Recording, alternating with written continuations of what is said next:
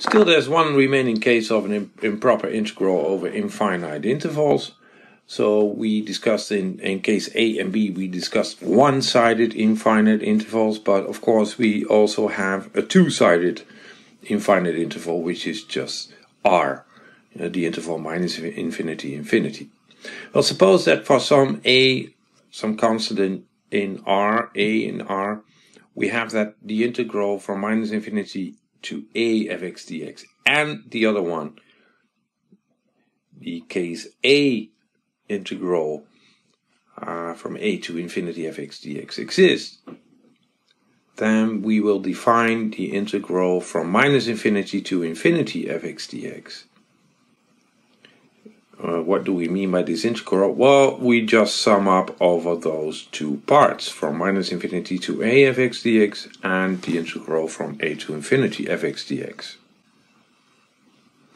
Well, just to illustrate what's, uh, what's happening here, consider the example of the function fx equals x times e to the power minus x squared we studied for this function and uh, a typical integral. We just calculated the integral from minus infinity to zero of this interval of this function.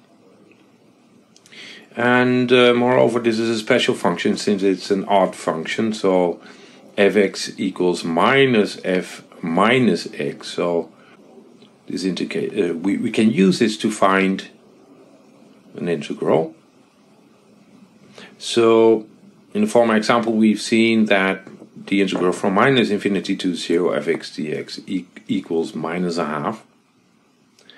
But since the symmetry due to the oddness of the function, we get of course that the integral from 0 to infinity of fx dx equals a half. So we can give the integral minus infinity infinity fx dx a meaning since both parts exist for 0, so we can just add these two numbers, minus a half and a half, which equals 0.